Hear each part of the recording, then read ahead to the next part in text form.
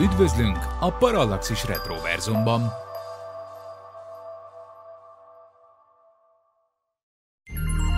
Figyelem! A műsorban spoilerek bukkanhatnak fel. 12 éven aluliak számára nem ajánlott. Az MD Média bemutatja. Peter Falk, Szabó Gyula. Bemutatjuk a Kalambó című podcast sorozat következő részét. Csak még egy kérdés. A Parallaxis Univerzum ballonkabátos podcastje.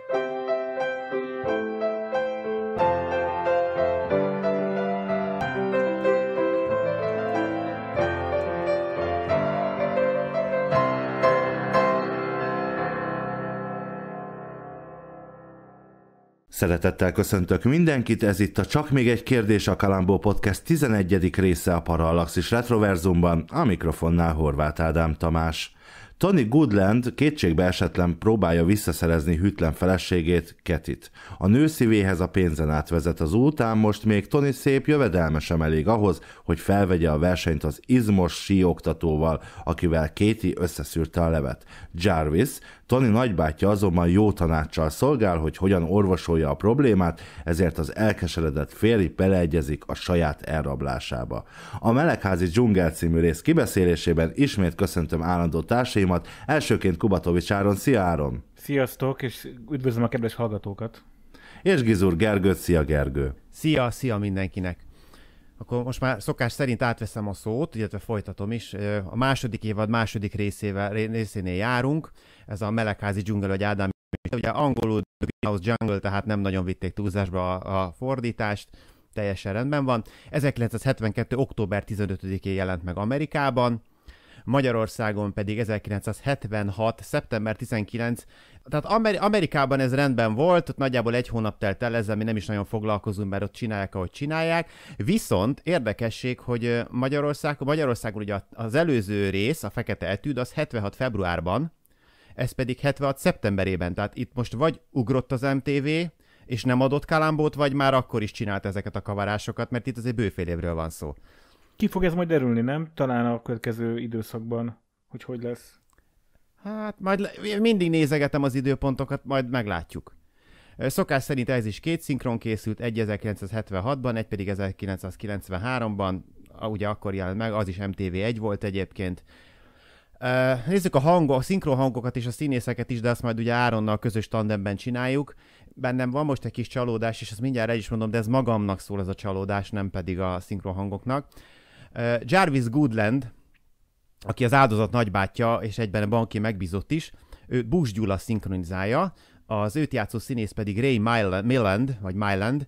Ő, vele érdekesség, hogy ő már szerepelt Kalambó részben, ő volt az első évad második részben Arthur Kennicott, akinek ugye a feleségét megölték, és ami számomra szintén mókás, hogy ott ugyanúgy Bush Gyula volt a szinkron hangja. Egy, bocsánat, melyik volt ez a rész konkrétan? A címét mond, második évad, vagy első évad, második rész? Hát a Besegít a halál. Besegít a halál de ezt majd jó, akkor majd fölírom akkor a gyengébbek kedvér is. Azt hitt, nem, bocs, be, magam hogy nekem ez az Arthur Keniket annyira megmaradt ez a név, hogy kapásból tudom, melyik rész az. Jó, tehát, hogy ott is szerepelt, már ott is Búzs Gyula volt a hangja. Az első szinkronban Mensáros László volt egyébként az ő hangja. Keti Goodland, az áldozat felesége, Bence Ilona, az első verzióban Sunyovszki Szilvia adta a hangját. Érkezik Tony Goodland, az áldozat. No, és itt van a csalódás, mert egyszerűen röviden halvány lila gőzöm nincs, hogy ki adja az ő hangját ebben a változatban. Az első verzióban tahított László, de itt semmi, be, de nem mondták be a hangot, és e, akárhogy küzdöttem, nem ismertem föl. Tehát már, már nem tudtam eldönteni, hogy már ugye hallgatom, hallgatom, hallgatom, és nem tudtam eldönteni, hogy már azért tűnik ismerősnek, mert tényleg ismerős, vagy azért, már annyiszor hallgattam, Úgyhogy ha valaki tudja, hát nagyon megköszönném, mert én itt elakadtam, és ez nekem egy, egy személyes csalódás. Ezt Ádámnak még mondtam is a felvételet, hogy ki vagyok borulva. Nem listázzák sehol. Nem, nem, és sehol igen, nem találtam. Akkor a szinkron adatbázisban Sehol, sehol, hát minden, mindenre rákerestem, már, már majdnem az internet pöcegödrébe is, de nincsen. Sehol nem, nem, sehol. És ez nekem fura is, hogy nem mondják be. Viszont bemondják például Frederick Wilson felügyelő helyettes hangját, aki Háda János, az őt alakító színész pedig Bob Dishi, és ő szerepelni fog még egy részben, ami szintén érdekes, ott is egy rendőr lesz. Az első verzióban Oszter Sándor adta hangját. Továbbá még Ken Nichols, az a bizonyos síoktató, a, aki önmagát egyébként első, először a család barátjaként mutatja be, akinek az a feladat, hogy barnuljon, ő Rosta Sándor adja a hangját, illetve még fontos szerepet tölt be ebben részben Gloria West, Toninak a volt titkárnője, és hát egyben barátja, illetve valószínűleg szeretője is, ő Kisfalvi Krisztina, és az őt játszó színész pedig Arlene Martel, aki még két epizódban fog szerepelni egyébként Kalambóval kapcsolatban, vagy Kalambóban, és most átadom a szót Áronnak, mert én a magyar, illetve az apró részeket kibeszéltem, és te biztos, hogy tudsz nekünk érdekességekkel szolgálni, mert itt láttam, hogy néha bólogatsz. Bólogattam, mert így, így sorral előad azokat, amikkel én készültem. Ez a Ray Milland, tehát ő a, a főgonoszunk, ő a, a, a gyilkosunk, és az, aki a, a segít a, a bárgyú férjel közösen megtervezni a, a, a, hát a, az elrablást, vagy igen, tehát tulajdonképpen megtervezni ezt a gyilkos, vagy na, bűncselekményt hogy én nem tudom, hogy a, a második rész kibeszélőben erről, erről így beszéltünk de hogy szóval ő, ő neki Cannes díja van, Oscar díjas, Golden Globe bot is nyert, és csupa nagy filmbe szerepelt, 170 valahány filmben, meg sorozatban, meg, meg tévéjátékban szerepelt, szóval hogy egy elég nagy, elég nagy színész, de ennél, na most képzeljétek el, a legdurvább eset viszont ez a bizonyos síoktató, ami nekem így egyébként kiesett, hogy ő síoktató. Nekem az maradt meg, hogy hát neki az a dolga, hogy barnuljon. Ő a Igen. szép fiú, a toyboy, vagy a család házi barátja, vagy nem tudom, hogy, hogy lehet ezeket még, még fokozni, hogy a kicsoda, és olyan sok szerepe nem volt. De képzeljétek el, én utána néztem, és nekem le, leesett az állam. Úgy hívják a színész, hogy William Smith. Nyolc éves kora óta uh, színészkedett, pedig mit tudom én, a, hogy volt, hogy a tengerészgyalogságnál szolgált, és akkor ott, hogy hívják azt a arm wrestling, ezt hogy hívják magyarul, a, aki így mutattam így a többieknek, akik nem látják. Skander, ez az, tehát ő Skander bajnok volt, meg minden ilyesmit csinált, és hogy egyszerűen a fizimiskája miatt, a fantasztikus, atletikus sport, sportos külsője miatt csak ilyen gonoszokat, meg, meg szép fiúkat, meg, meg ilyesmiket játszott. Ő játszott a Conan apját a, a Conan a pusztítóban például. Szóval, hogy ő több mint 300 filmben, sorozatban játszott, összesen 980 kreditje van. Ugye az a különbség a, a kettő között, hogy mondjuk ha egy sorozatban 10 részben játszok, az 10 kreditet jelent, vagy hogyha adott esetben még eh, ne, nem írnak ki téged, de az IMDB vagy valami azért listáz téged, akkor is tulajdonképpen megkapod a kreditet 20 évvel később, vagy nem tudom, és 79 éven keresztül volt ő. Ő az, aki 2020-ban volt az utolsó? Jó, mert 2020-ban volt, valaki. volt az utolsó, Akkor ő volt az. Azt néztem, igen, 20, igen, igen, őt én is láttam, igen, hogy nagyon és hosszú. 21-ben halt meg, elképesztő, tehát 980 kredit. Tehát ez, ez, ez félelmetes. Viszont Két nagyon izgalmasat is hoztam, ami az Ádámnak szerintem tetszeni fog. Vagy legalábbis Ádámnak biztosan nagyon fog tetszeni, meg szerintem sok hallgatónknak. Kathy Goodland, ugye ő a feleség, a csélcsa feleség, de nem csak a feleség az, aki megcsalta a férjét, hanem persze ez a bárgyú férj is csalogatta a feleséget. Na mindegy. Az őt játszó színésznőt tudják, hogy Sandra Smith, és na képzeljétek, hogy ő játszott Star Trekben. Méghozzá ő a harmadik évad 24. részében játszott Az eredeti egy, sorozatban? Az eredeti sorozatban, tehát ez valamikor a 60-as évek. 60-as, 60-as évek, igen, igen, igen. Úgy, tehát azt írják róla, hogy ő az egyetlen olyan színész, aki William Shatneren kívül még eljátszott a Kirk kapitányt, ugyanis ebben a részben valami ilyen doppelganger, vagy nem tudom pontosan mi volt, ez a harmadik évad utolsó ebiz, vagy évad záró része, és egészen a 2009-es rebootig ő az egyetlen, aki valaha eljátszott a William Shatner mellett a Kirk kapitányt. Tehát ez az egyik, ami ilyen fun fact, és gondolom, hogy szeretni fog, fogod, Ádám. De hát itt nincs még megállás, mert van a másik. Ez a, van az a titkárnő, aki csak így meg... Vagy titkárnő volt, aki... Igen, volt titkárnő. Vagy volt titkárnő, akinek ott van a, a szekrényén a, ugyanúgy a, a fotója igen. A, az elrabolt Én emberünknek. egyébként nem értem, hogy mi ezzel a problémátok, és miért következtetitek, hogy a szeretője volt csak azért, mert a fényképe kim volt, hiszen nektek is kim van, nálatok is kim van az én fényképem mindegyik őtöknél. Igen, csak én nem szoktam azt a mondatot mondani, amikor elmegyek Jarvishoz, hogy nem mondtam el neki mindent. szóval azt a színésznőt úgy hívják, hogy Arlene Martel, azt hiszem te ezt mondtad. Igen. És ő pedig több, talán három vagy négy Star Trek epizódban is játszott. Ő egy ilyen fú, én, én vagyok közületek, az egész Parallaxis tábból az, aki nem nagyon néz Star Trek-et. Hogy van az, aki ezt, Én ezt a jelet, láttam. jelet mutogatja, és nagyon okosak, és nagyon hidegek, Nimoy. és... Vu- Vulkánia. Na, ő valamelyik vulkánit játszott a több részben is. Leonard Nimoy. Igen, igen, szóval ezeket, ezeket mindenképpen meg akartam itt említeni. De izgalmas, de hát amúgy mi Star Trek rajongók tudjuk, hogy minden út A Star Trek vezet. egy Enterprise-ra vezet. Igen, nem Rómába? Ezek szerint? Nem, az, az, az az őskorba volt, az nem. Aha. Vagy az ókorba, de... Hát jó. Egy dolgot vissza, még aztán folytatjuk nyilván, vagy nem tudom Áronnak, hanem még csak itt a síoktató, hogy miért síoktató. Egyébként tényleg az a vicc, hogy a sorozatban nem derül ki, hogy ő egy síoktató. Ez csak a leírásokban derül ki. Tehát én is, amikor ö, olvastam ugye magáról a sztorról, meg Ádám, te is mondtad, hogy ezt onnan tudja csak, hogy síoktató. A sorozatban, legalábbis a szinkron alapján nincs rá utalás. Tehát ő a család barátja, illetve az, aki, ahogy többször utalnak rá, akinek az a dolga, hogy barnoljon, magyarul a szép fiú, gondolom erre akartak célozni. És így nagyjából ennyi, aztán tudjuk, hogy szerető. Tehát fingunk sincs róla, hogy síoktató. Meg hát nem is síeltek, tehát csónakáz, vitorlázni mentek. Én szeretnék a főgonoszról pár szót mondani, Jarvisről, aki hát a legidegesítőbb főgonosz eddig, de nem úgy, mint ahogy a, az az ugri-bugri Igen, Hülye gondoltam, hogy volt őt fogod a- a... felhozni. múltkori részben, hanem, hanem vagy hát több ezelőtt a szivaros részben, de Roger Stanford, akire te gondolsz. Igen, de nem, nem úgy volt idegesítő, hanem egy, egy, egy őt, őt én úgy képzelem el, hogy biztos, hogy egy nagyon kedves nagypapa, viszont, viszont ezt, a, ezt a szerepet nagyon úgy hozta, hogy kinyílt a bicska a zsebembe már, mikor megnéztem. Ezt a hallgatók nem tudják, de eredetileg én ebben a műsorban nem is lettem volna jelen, hanem ö, Horváth Norbi lett volna helyettem, mert annyira idegesít ez a színész, vagy nem a színész, bocsánat, mert úgy jól játsza a karakter, a karaktere idegesítő, ez a fellengős, ki, ha én nem figura, hogy én nem is, nem is, nem is akartam ebben a kibeszélőben részt venni eredetileg. De hát legalább van egy jó témád. Van egy jó, igen, szóval igazából nem volt ez jól megírva, én, én szerintem sem a színész hibája ez. A motivációja sem tiszta, tehát Abszolút, 300 ezer dollárért csinál valamit, miközben egy ilyen több tízmilliós iszonyú nagy ingatlanban lakik, és a legkisebb orhideája is, nem tudom, biztos 12 10 000 ezer dollárokat. Igen, azt az, hogy tisztázzuk, hogy ez a 300 ezer dollár, ez mai árfolyamon olyan, olyan durván 780 millió forint. Na, Olyan durván Ap- két millió apróság. dollár nagyjából. Igen, tehát de, de, sok pénz, de hogy igen, nem, nem látjuk ezt a...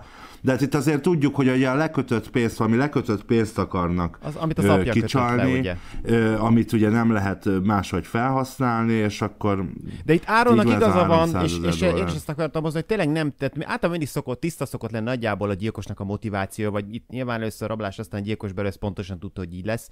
Tehát, hogy nem látom a motivációt, hiszen ő nem szegény, ö, ő már egy idős ember, nem úgy tűnik, hogy né- nélkülözne, tehát akinek tényleg futja arra, hogy egy teljes, hatalmas, pavilonnyi, 12 ezer dolláros vagy 1200 dolláros orhidea gyűjteményt tegyen magába, és tényleg biliárdasztal vagy snookerasztal volt egyébként az a, a szobában, az is csupa burzsói, neki 300 ezer dollár, most, most minek már, meg hova? Tehát nem, erőltetett, elhangzik benne, az írók fölhívják arra a figyelmet, hogy tulajdonképpen nincs ennyi likviditási tőkéje, nem tud ennyi pénzt felszabadítani. Na de Tehát valamiből van, mégis van ez, a, van ez a háza, aminek mondjuk fizeti a rezsijét, értitek, meg él egy ilyen úri életet, de lehet, Jó, de mi, mi hiányzik kirántani. még neki? Tehát mi hiányzik még? Hát mo- 300 de, mi, de dollár. mit csinál vele? Tehát, hogy van, van egy baromi nagy háza, birtoka, Plusz, most, autója. figyelj, plusz a, motiv- a, a motivációja például annyi, hogy a baromira unja, hogy az unokaöccse a pénzét a csajra költi. Mi köze hozzá?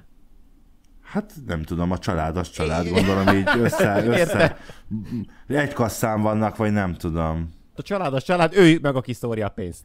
Viszont azt szeretném elmondani, hogy, hogy a rész amúgy tele volt ö, folytonossági hibával. Ugye a folytonossági hibának a filmezésben azt vesszük, amikor az egyik jelenetben Kalambó éppen a hogy hívták a csávot? Jarvisra néz, a másik ö, vágás, és aztán már a kis orhideáját nézi ö, maga előtt. Tehát nagyon sok volt az ilyen folytonossági hiba, és nem vágtak. tudom, biztos nem vettétek észre.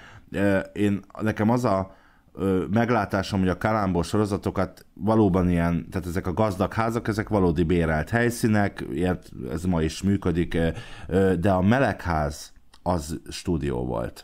ez egészen biztos, látszott is rajta, és amúgy az egyszer elhangzott, hogy nem melegház, hanem Sauna. szolárium. Szolá- szolárium, bocsánat, igazad, igen. Sauna. Jó, van, meleg van mind a két helyen, nem?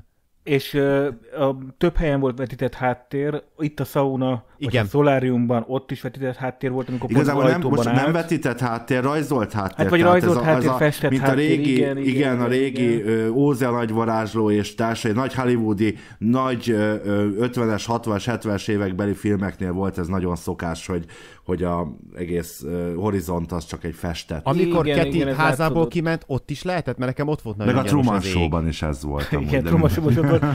A Keti házából szerintem nem, azt, azt kint vették föl, de amikor beült az autóba, és e, e, mutatták, ahogy vezeti az autót Hát az a igen. Jervis, az megint az Hát az a klasszikus volt. tévé. De aztán utána vágtak igazi kintű felvételek. Szóval próbáltak ki trükközni, de igen, több, több ilyen nagyon feltűnő volt. Amit mondtál, hogy, hogy mik a folytonossági hibák, ráadásul a forgatásokon kifejezetten mindig van egy asszisztens, akinek egy dolga van a minden forgatás alatt, a reggeltől estig csak azt nézi, hogy a folytonossági hibákat szűrje ki. Ha ott volt egy vázi, váza, akkor egy odarak egy másik vázát, tehát hogy erre tökre kell figyelnie. nem hibáztatom ö, érte őket, ez manapság amúgy úgy megy, hogy tulajdonképpen egy iPad-del fölveszi a jelenetet. A nagy totált fölveszi, és akkor ahhoz igazítják. Ez manapság így megy a, a film meg a tévégyártásban.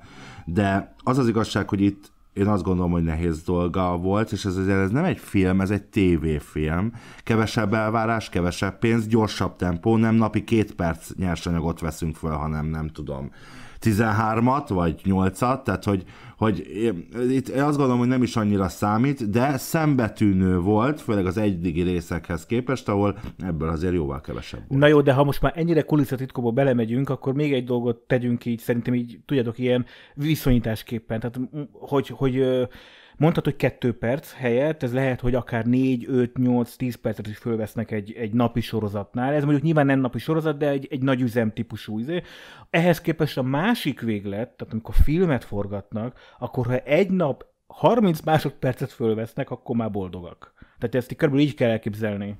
És tök érdekes volt, hogy közben meg azt láttam, hogy például a, a aztán belemehetünk a cselekménybe, csak szerintem ebben, ebben a, a részben ezek izgalmasabbak voltak, hogy amikor a Kalambó a, bemegy a kocsiba, a lezuhant autóba a golyót kivenni, akkor ott is volt egy belső beállítás, amit a hallgatóknak mondok, hogy úgy képzeljék el, hogy egy mondatér, egy operatőr bemászott a kocsiba, és onnan volt egy beállítás erre a másik ö, ö, gyakorló őr, őrnagyra, vagy nem tudom, aki most a társa volt, vagy az ilyen kis Felügyelő helyettes. felügyelő helyettes.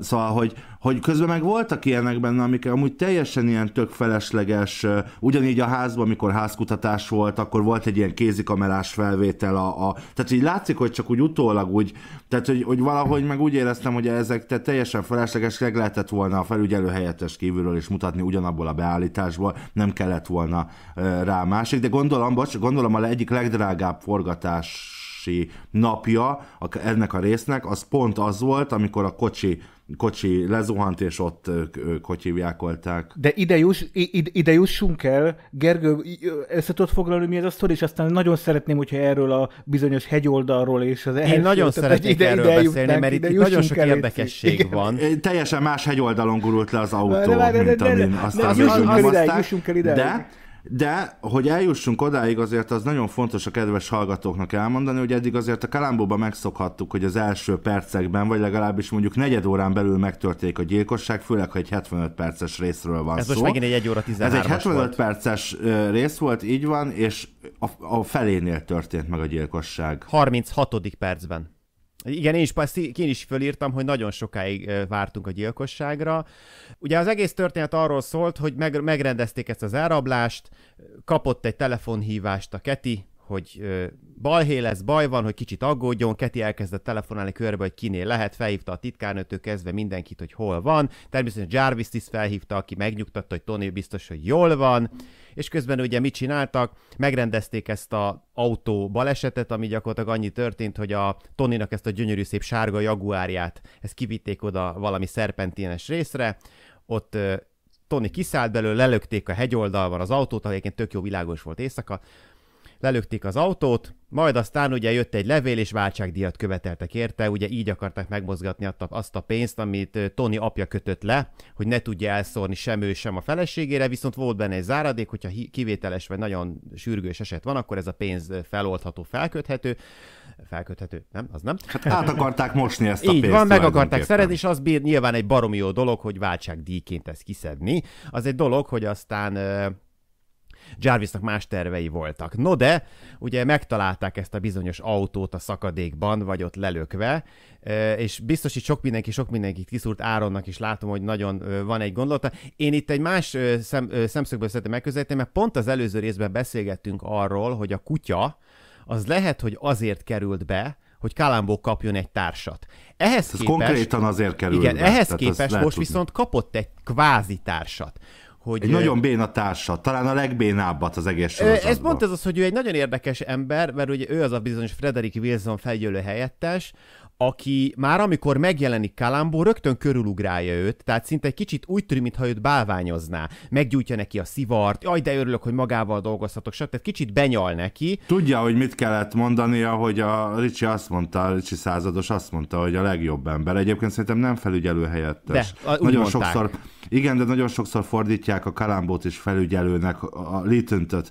Én, én azt gondolom, hogy az csak egy Ő fordításéba. A lieutenant az ugye hadnagy, ő pedig sergeant, Sergeant volt. egyébként, tehát Sergeant, őrmester elvileg. Hát magyarul... Hát, hm, Hát akkor őrmester. Értem, Szokta, csak... a Kalambóban sokszor mondja azt Igen. valaki, őrmester hozzá. Igen, azt, szerintem itt azért, hogy- azért lehet, hogy a magyarban azért mondták a felügyelő helyettes, mert hogy ugye valakinek a helyettes, hogy ez a Ricsi ember őt küldte oda. Tudod, ezekkel már játszottunk ezekkel a pozíciókkal, hogy ki kicsoda, ebben mindig beletörik a bicskánk, hogy most akkor ki hol merre.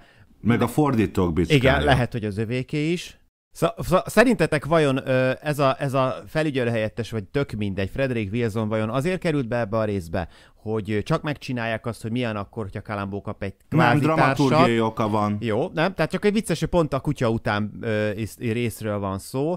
Viszont te Ádám azt mondtad, hogy a legbénább társa. Na most ez is egy érdekes dolog, mert ugye úgy kezdődik, hogy csontig benyal neki. Ez ugye lehet azért, mert tényleg komolyan gondolja, bár a végén már azért nem úgy tűnt, hogy tényleg komolyan gondolja, hanem Nem ezért azért... béna, bocs, nem, nem ezért, mert, mert abszolút félre, minden, tehát hogy egyáltalán nem jó, jó irányba Hát jó, nyomozott. de ennek pont ez a lényege, hogy pont ez erről szól az egész sztori, hogy Nyilván ugye ezért kellett, ezért kellett dramaturgia mindent, bele. mindent lejegyzetel, mindent lejegyzetel, baromi alaposnak tűnik, az összes modern technikát felhasználja, az akkori kvázi modern technikát, Az ami Kalambó nem. fényképezőgép, ami nem infravörösben fényképez, ezt nem is értettem. Azt én sem értettem meg, hogy honnan szerzi hozzá, na mindegy, ez most ért, az tök A mindegy. filmet, igen. igen. De a lényeg onnan indult, ugye, hogy a Kalambót folyamatosan becsicskítja azzal, hogy ő semmilyen modern technikát nem ismer, mármint Kalambó, de közben meg ugye ment az, hogy de maga Hmm, Én milyen amúgy jó. Nem, szerintem nem volt becsicskítás. Nem úgy csicskítva, hanem hogy, hogy mindig arról szól, hogy mindig az jött le, hogy a Kalambó csak csodálkozik, hogy ó, ilyen is van, ó, olyan is van, és akkor mindig mondja neki. Abszolút nem le, ledegradáló módon mondja neki ezeket a dolgokat, megmutatja be neki.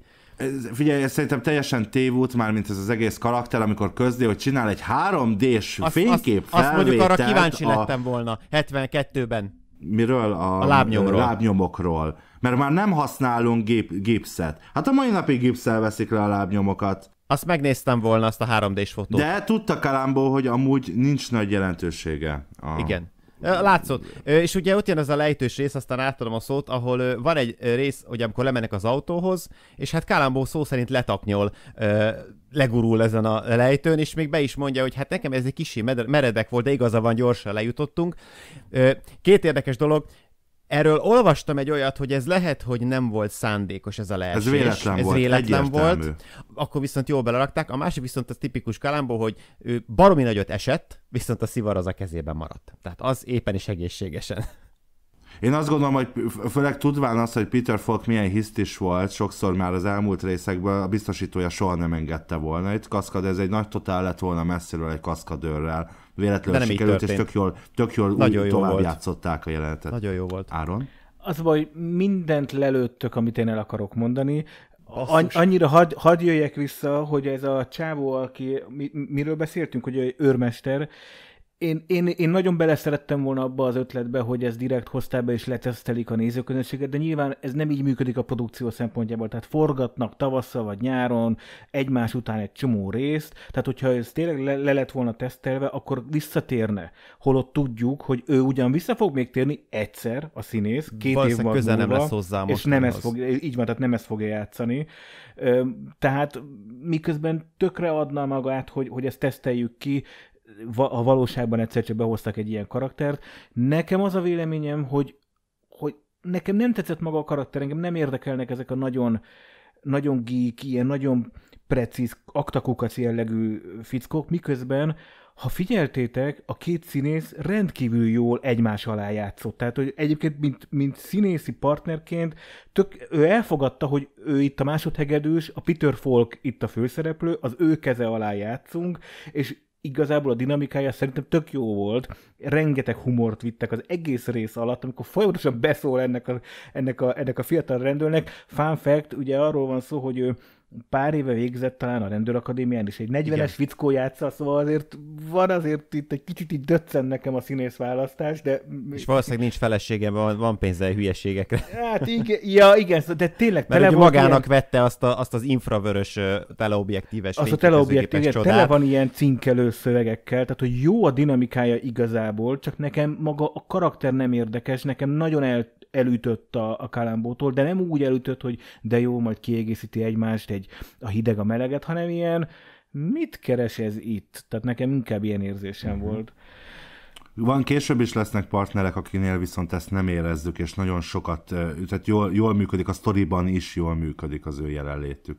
Lesz egy Mac nevű Én ebben egy hullámot az... éreztem egyébként hogy először az van, hogy ő mennyire tiszteli őt, Kalambót, utána inkább az, hogy ő azért csak vagányan egyedül megoldja a vége felé, hogy most nincs itt Kalambó, én vagyok a főnök, tartozzuk le a nőt, de a végére azért csak kijön az a Kalambó lényeg, hogy hát mégiscsak a Kalambó itt a király, mert ő vég... nagyon tévúton járt. De azért Engem... valójában arról van szó, hogy ha ez a csávó nyomozott volna egyedül, akkor most lecsuktak volna egy ártatlan nőt, ö, és soha nem derül fény a gyilkosságra, tehát azért szerintem ez nem, tehát hogy én nem látom ezt igazából mókásnak ezt a szitut, inkább, vagy ezért, ezért, ezért ellenszenves számomra ez a karakter, még akkor is, ha közben maga a játéka, a szövege poénos volt, stb. Mert itt bed- az a lényeg, hogy a Kalambó az egyetlen, aki nem dől be ezeknek a trükköknek, amivel ezek a furfangos gyilkosok játszani akarnak, míg egy átlagos, igen, tehát itt a Kalambó felistenítéséről is kell, hogy szóljon gondolom ez a rész. Sőt, az írók még velünk is játszanak, hiszen mi se értjük, hogy mit keres a Kalambó egy ilyen, egy ilyen helyen, amikor itt elraboltak valakit.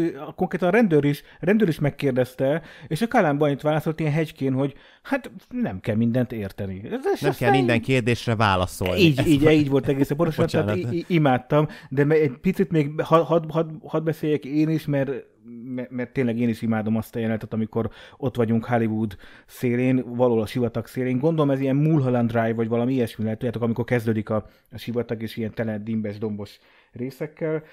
És több kamera is veszi azt a, azt a bizonyos lezakózást, vagy lebomlizást, vagy nem tudom, hogy, hogy kell azt nevezni, és én ott néztem, hogy van olyan kameraszög, ahol tisztán látszik, hogy ez nem uh, stunt, na, tehát nem kaszkadőr. kaszkadőr, hanem ez tényleg, tényleg Peter Falk, és ebbe a pillanatban én megemeltem a kalapomat, mert én imádom azokat a színészeket, ezeket a fizikai színészeket, akik nem ijednek meg attól, hogy esni kell, hát akkor esünk. Ha be kell ütnöm a fejemet, akkor beküldöm a fejemet a szerep kedvéért. Tehát ez, és ez nagy szó, tehát ez, ez kevés színész meri ezeket bevállalni. Sok színész azt mondja, hogy ő félti a testét, a testi épségét.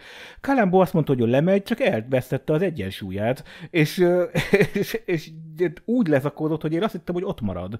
Tehát Csoda szép volt a végén, az, de a végén, ahogy, ahogy megállt, hogy óriási a leült, az igen. nagyon szép, nagyon szép nagyon, mozdulat volt. Nagyon, nagyon igen, karakterben marad, de azért azt vegyük észre, hogy ez egy nagyon, és én nem gondolom, hogy ez biztosan, ahogy ti is mondtátok, egy véletlen, tehát egy elbotlott és így alakult, és akkor már végigjátszotta, de ha mondjuk ez a negyedik felvétel a forgatás közben, és eltöri a kezét, hogy a lábát. Hát a lábát inkább Akkor főleg. nincsen epizód. Az nagy baj. Akkor Az nincs nagy folytatás, így van, így van, úgyhogy azért azért mondom, hogy ezt a biztosító, a producerek nem hagyták volna, úgyhogy valószínűleg itt tényleg az van, hogy, Rohadt nagy lebuktázódott. És mivel tovább játszották és teljesen, és ott még volt valami kiszólás, és amit most már nem tudok felidézni, de hogy volt, tehát hogy hogy nem tűnt fel benne, de hogy, tehát ez amit jó nagyot estem, igen, Kalambó, tehát hogy valami ilyesmi volt benne, ami azért úgy érződik egy kicsit, ha ilyen szempontból nézzük a jelenetet, hogy egy kicsit annak is szól, hogy most egyébként, oké, okay, meg a, a, ugye a kamera az addig forog, a színész tudja, amíg azt nem kiabálja a rendező, hogy cut.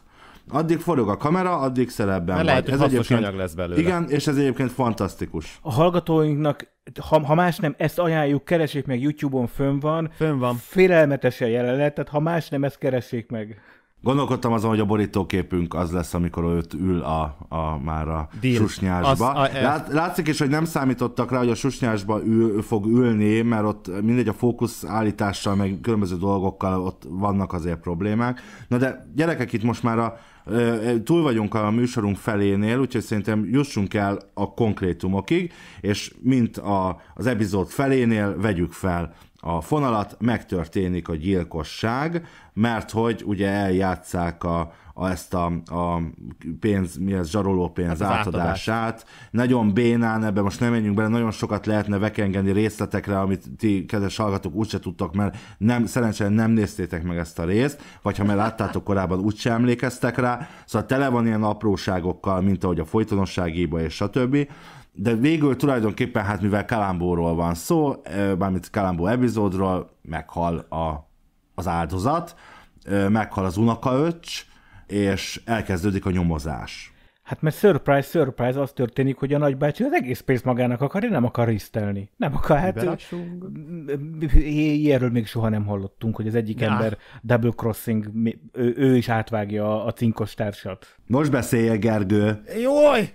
Apu! Én megmondom őszintén, már ez azért nem akarok erről, mert itt tényleg egy baromi egyszerű sztori volt, tehát megcsináltak ezt a gagyi jelenetet, a végén megölte ugye, amikor elvitte a rejtek helyre, ott lelőtt, tehát ezen túl van tárgya, ugye Kalambó elkezd nyomozni, itt, itt jön, a, jön a fontos rész, ami az első igazán érdemi fontos rész, hogy Kalambó elkezdi ugye, ö, hát csak elkezdi most már akkor felgöngyölíteni a szálakat, és meglátogatja Gloria Westet, azt a bizonyos titkárnőt, a, aki egyébként nagyon sok kulcsmondatot, uh, jó, nem, nem. Tehát pöcök megjelenik, elvesztem a fonat, bocsánat, Istenem. A kur... áldad, de aranyos vagy. jó, most vagy elveszed onnan a cicád, vagy vége a műsornak. Ezekkel a szemekkel, még a te szemeidnél is cukiba Kádám, pedig itt van a fotód most is. Ez mind benne marad az adásban. Hát ez várható volt. No, szóval miután tehát meglátogatja Gloria Westet, azt a bizonyos volt titkárnőt, akiről hát ő állítása szerint nem volt Tony szeretője, hanem csak rendszeresen feljárt hozzá beszélgetni, és elsírni a, a bánatát, panaszát, hogy hát a, bizony az ő kis felesége őt megcsalja, pedig mennyire szereti. És ezért sírt állandóan nála, de majd mindjárt megoldódik a probléma, mert pénzhez jut, és 50 ezer dollárért cserébe az a bizonyos magát állandóan barnító, vagy barnítani kényszerülő csávó 50 rugóért el fog tűnni, lelép örökre, és akkor talán visszakaphatja az ő kis feleségét. De ez nem volt igaz végül. Tehát, hogy nem derült ki, de nem, de nem volt. Én azt gondolom, hogy nem volt igaz. Hát nézd, Ken, Ez egy poligám kapcsolat volt de tulajdonképpen. Kennek a reakciójából Kalambó egészen véletlenül, Igen, talán nem kellett volna elmondanom. egészen véletlenül elejti, amikor ők éppen ezzel a bizonyos Ken, érdekeseként pont egy ilyen Barbie csávót Kennek hívnak, tehát Ken Nichols és Keti elmennek vitorlázni, pont akkor ejti ezt a mondatot el egészen véletlenül, és abból a reakcióból nekem úgy tűnik, hogy lehet, hogy igaz, de ebből nem derült ki számunkra, hogy utána le lehet cseszve a csávó, vagy nem. Jó, most álljunk meg egy pillanatra, mert szerintem túl messzire jutunk, és eh, Áronnak szerintem e- ezekhez a, a dolgokhoz van hozzáfűzni való. Legalábbis úgy tűnt, lehet, hogy nem. Igazából én nekem az volt feltűnő ez, ezben a nyomozós részben, hogy szépen zajlik a cselekmény, és megyünk, megyünk a, a rész vége felé, és még mindig ho, hogy lesz ebből a megoldás, mert azt látjuk, hogy igazából ez a bizonyos Jarvis tökre végig gondolta az egész cselekményt, sőt, amikor egy picit rezget volna a léc, tehát előkerül a fegyver, és a fegyver körül elkezd, elkezdenek nyomozni, akkor azt csinálta, hogy éjjel belopózott a feleségnek, a hálószobájába, miközben a feleség alszik, és ott elrejtette a pisztolyt. Ez egyébként ez egy, egy, ez egy fantasztikus jelenet. Én nem is tudom mi, nekem az ilyen, tényleg az ilyen 50-es, 60-as évekbeli ilyen, ilyen krimik, vagy ilyen film noárok jutnak az eszembe, amikor a, alszik a, a, a hölgy, az ágyba is éjszaka oda belopózik, és közben ott mahinál. Hát ha én így aludnék, mint ez a nő hallott. Majdnem fölébred, de akkor visszahanyatlik, és aztán megint fölébred, és jobbra néz. Forgolódik, forgolódik állandóan, de, de nem ébred föl, és a fickó addig-addig mahinál a szobába, amíg el sikerül rejteni a, a, a pisztolyt.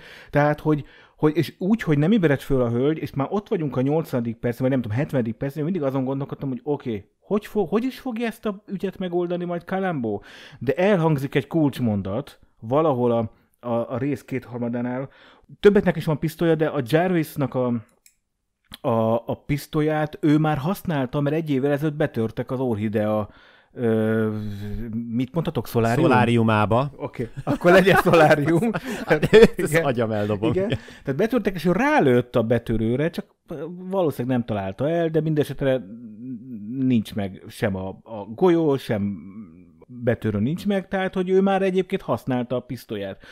Én nem biciklit szereltem, de valamit csináltam közben, tehát nem ha nagyon neki. figyeltem. Igen, tehát nem az, de valamit csináltam, és nem nagyon figyeltem, és a végén ugrott be, hogy aha, Hát eb, ez biztos valami fontos információ volt, de ne szaladjunk még ennyire előre. Ne szaladjunk előre, mert főleg ugye te most ezt, előhoztad ezt, ezt, a, ezt a pisztolycserét. Ugye ennek volt egy előzménye, hogy ez a bizonyos Gloria, miután Kalambó meglátogatta őt, Gloria felhívja Jarvis-t, ezt a nagybátyot, a nagybátyot, ugye a gyilkosunkat, és hát nagyon úgy tűnik, hogy Jarvis őt is szeretné eltenni lábalól, és itt engem rendkívül idegesített ez a történet, gyakorlatilag Gloria, ez a titkárnő, előadja az elméletét, ugye elmondja, hogy Kalambó nála volt, stb. stb. Tony, Tony úgy, és Jarvis már úgy érzi, hogy Gloria rá is veszélyt jelenthet, mert esetleg be tudja őt, rá tudja terelni a gyanút, és akkor már nyúl a, a fiókba a fegyverére, elő is veszi a fegyvert, és De engem ott annyira idegesített ez, hogy ott van mögött, tehát, lát, tehát a vak is látta volna, hogy ez fegyverhez nyúl, ott van a kezében, de ez a nő csak darálja, darálja, darálja mondat, nem tűnik fel neki,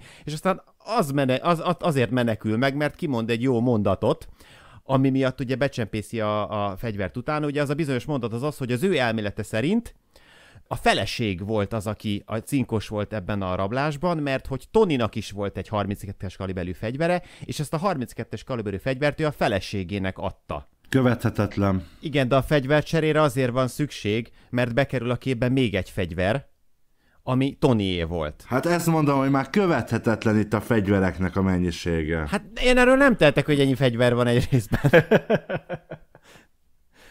És a lényeg az, hogy a Gloria elmélete szerint ez a bizonyos 32-es a gyilkos fegyver. Ki az a Gloria? A titkárnő. Tehát Gloria a titkárnő, és Gloria a titkárnő szerint Keti a feleség az, aki megölte Tonit, az áldozatot. Hát meg nyilvánvalóan, hogy Jarvis is a, a nőre akarja terelni, már csak nem csak azért, mert belopózott és bevitte a fegyvert, hanem bevitte még azt a táskát is, a hát ötletet, gyakorlatilag a Gloria adott egy ötletet neki, hogy terelje a nőre a gyilkosságot. Mert ő eredetleg nem tervezte ezt látszólag, hanem, hanem ahogy ez a nő, ez a titkárnő felvetette neki a sztorit, hogy 50 ezer forint jutalmat is ajánlanak állítólag ezért, hogyha valaki megtalálja a gyilkost és az elrabolt pénzt, mert hogy volt egy cinkosuk, ez már biztos akkor jött neki ez a nagyon nagy ötlet, hogy az egészet rákeni a feleségre. És ezért ment fegyvert cserélni. Nem volt a nézőknek kiemelve, de azért az elég egyértelmű volt, hogy amikor az a őrnagy valaki helyettes az arról beszél, és izé magyarázza a Kalambónak, hogy három különböző cigarettafajta, három különböző tányér, három különböző volt abban a házban, ahol bujkáltak az emberrablók, hogy a hallgatók is értsék, ahhoz képest szóval eléggé szájbarágos volt, tehát hogy vannak emberek, akik ugyanazt a cigarettavárkát szívják például, meg most, tehát hogy meg most akkor a három tányérú, lehet, hogy, lehet, hogy négyen voltak, Lusták voltak mosogatni. Az egyik nem, nem evett, vagy lehet, hogy ketten voltak, csak az egyik kétszer evett, tehát hogy ezekből nem lehet ezt így következtetni. Én erre mondom, hogy, hogy tele volt ez a, ez a szerencsétlen ember, aki majd valamikor elvégzi a rendőr nem tudom micsodát, az, az teljes mértékben tévúton volt, annyira rossz következtet, semmi szimata nem volt. Tehát nekem az, az zavar, Tehát, hogy ott, ott figyelni kell, jó következtetéseket levonni, és szimatnak kell lenni, megérzésnek, hogy mondjam. Tehát ez, az,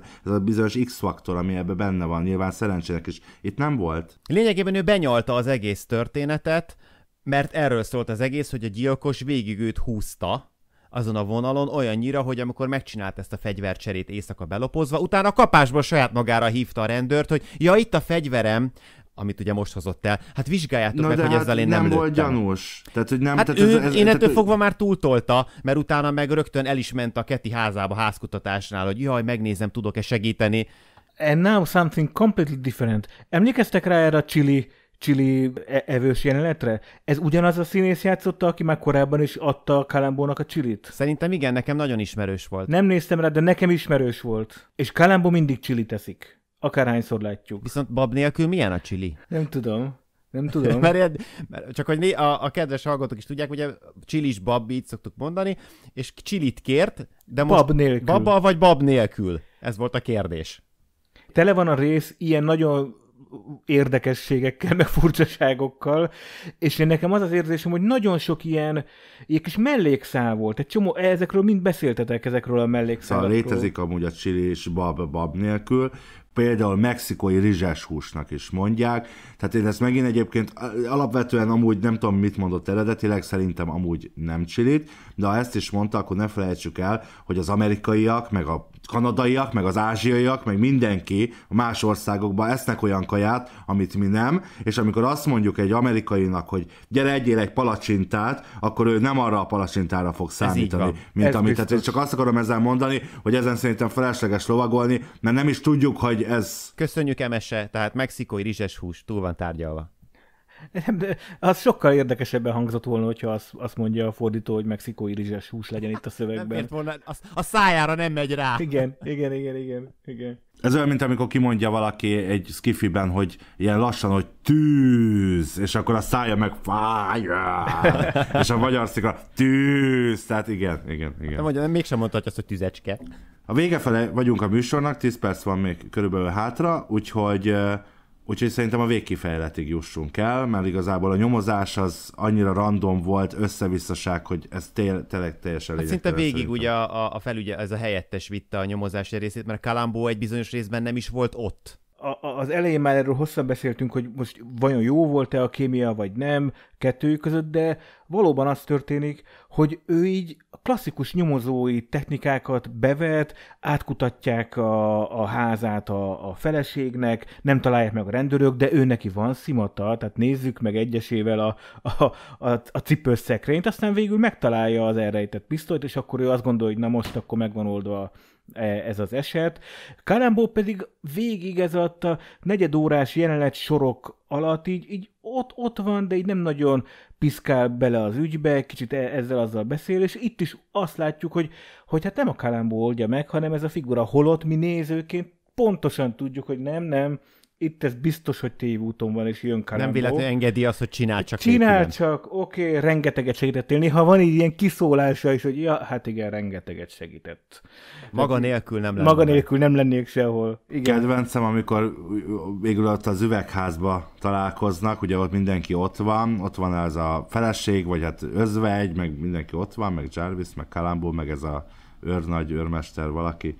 Ugye, csak nem letartóztat, ugyan, Ugyan már, már, ugyan már. Szóval ez a tipikus ilyen, ez, tehát az a, ha úgy vesszük az oltásokat ilyen sok idézőjelben, amit kapott a modern technika miatt Igen. a Kalambó az egész részben, itt a A végén, ez végén visszarugott. Bolond vagy, hát egyértelmű, hogy nem ő a tettes, és úgy derült ki. És, és én, én nem váltottam át angolra, de el tudom képzelni, hogy ez a magyar szinkronban ez sokkal jobban kijön. Hát persze, hát a Szabó Gyula az Ugye, ez, hogy a Szabó olyan Gyula szépen játszik a hangja, annyira Igen, aranyosan igen. csinálja, olyan szépen tud váltani. Az nektek megvan ez, e- az az apróság, hogy ez mindez, ez a, ez a, ez a, ez a, ez a, ez a jelenet sor itt a végén, ez hajnali háromkor történik ebben a bizonyos melegházba, vagy üvegházba? Nem voltam ott, aludtam akkor ezek Tehát szerint. ez, ez, ez megint egy olyan rész, ami azért nekem nehezen hihető. Na mindegy, tehát az történik valóban, hogy mikor már mennének letartóztatni, eh, akkor Kalamba egyébként éjszaka idéző belopózik, ezt nem látjuk, hát azt látjuk, hogy hazaérkezik Jarvis hajnali háromkor, és már ott van a Kalamba ebben a melegházban, és kiderül azért, mert ő valamit ott mahinált. Hát mit mahinált? Ezzel a bizonyos fémdetektorral, korabeli fémdetektorral kereste a golyót. De régi porszívó. Azt megfigyeltétek, hogy Jarvisnak nincs háza? Csak Tehát, melegháza hogy van. őt csak a melegházba látjuk, ott nem béreltek egy külön, külön, külön épületet neki, hogy az legyen a háza. Úgyhogy ő hajnali háromkor, ha megérkezik haza, ő az orhidák Igen, igen, közé ez megy fontos. a melegházba. Igen. Igen, oda érkezik, és odahozza az Lehet, hogy őrmester. ezért kellett a 300 ezernek, hogy legyen végre egy háza. Lehet egyébként, igen. és Hát basszus, egészen eddig szittuk, hogy nincs itt indíték, ott van. ott van az indíték, és odahozza az őrmester a letartóztatni kívánt özvegyet, meg még egy-két rendőr is ott van, tehát ott van a, a záró jelenet sorunk, ez mindez hajnali háromkor. Bár a snooker asztal, a snooker asztal volt valahol, bocsánat. Szerintem amúgy az biliárdasztal volt, de nem figyeltem annyira. Volt egy gomba a közepén? A gomba nem a snookerben, az a, az a Rexben van. Ja, tényleg? Okay. Na, e- ennyit, ennyit, kedves hallgatóink, ez volt a tudományos infotainment ebben a műsorban, hogy ezt letisztáztuk. Szóval az a lényeg, hogy már láttuk korábban is, hogy ö, ö, minek mondják, már hirtelen részeske detektor jutott eszembe. de, Fém- fémdetektor. Fé- Fémdetektor. Fémkereső, nem? Fémdetektorral már látjuk elején ott a, a gyilkos fegyvert a nőházában is azzal keresik, és látjuk, hogy kiderül, hogy Kalambó hadnagy, amíg ottan várakozott erre az egész tévutas dologra, addig hát lemeozta ezt az üvegházat, és bizony megtalálta azt a golyót, amit kilőtt a Jarvis egy évvel ezelőtt erre a betörőre. Jó, most azt hagyjuk, hogy ennek valójában mennyire, mennyi esélye volt, meg ott tényleg három Semmi. év alatt nem volt egy orhida házba f- f- földcsere, meg ilyenek, mert mint világföldcsere, vagy ilyenek. Nem volt rá pénze. Elhisszük mi nézők, így van, elhisszük mi nézők ezt a dolgot, hiszen nem volt 300 ezer dollárja rá, és innentől kezdve ugye Kalambónak nincs más dolga, vagy nem volt más dolga, mint hogy korábban elküldte a szakértőnek, és hajnali fél négykor meg is érkezik az eredmény, hogy bizony ugyanazok, ugyanaz a fegyverrel lőttek bele a kocsi szélvédőbe, ugyanaz a fegyverrel ölték meg Tonit, Igen. vagy hogy hívták az Tonit. áldozatot, és ugyanaz a, vagy ugyanabból a fegyverből kilőtt golyó ölte meg, és ugyanabból a fegyverből kilőtt golyó volt az, ami bizony ott meg belefúródott a földbe, amit ugye saját maga a Jarvis mondott el, ugye ez a egy évvel ezelőtti betörők után lövés, és hát hogyan magyarázza meg kedves Jarvis, hogy hát egyrészt ugyanaz a fegyver, másrészt meg, Hogy hogy, eh, hogy került a Carol lakására, hát hogy máshogy, mint hogy őt ő Keti. oda csempészte. Itt volt egy nagyon szép, ez egy nagyon szép befejezés, nagyon jó csavar, egy olyan megoldást választott Kalámból megoldásra, dupla ismétlés, amire még Áron is ugye felkapta a fejét bicikliszerelés közben, mert ö, ez tényleg, Basszus, és most tényleg felkapta a fejét, ha láttad. tehát ez, egy nagy, ez, ez nagyon jó csavar volt a végén, mert ahogy Áron is mondta, hogy hogy fogja ezt megoldani, tényleg lövésünk nem volt, és, és ott volt előttünk ez az elejtett mondat, de zseniális. És hát sajnos volt neki lövése egy évvel ezelőtt. Igen, van. szerintem ez egy, ez, egy, ez egy okos, ügyes megoldás volt, miközben igazából az egész rész nekem egy kicsit olyan fura volt. Ne, ne feledjük el, ez volt az első olyan rész, hogy Kalambót hamarabb megláttuk a részben, mint hogy a gyilkosság megtörtént volna. Lesz még néhány ilyen rész, de igazából nem, Nem, nem, nem, volt szokásos már ez. ilyen.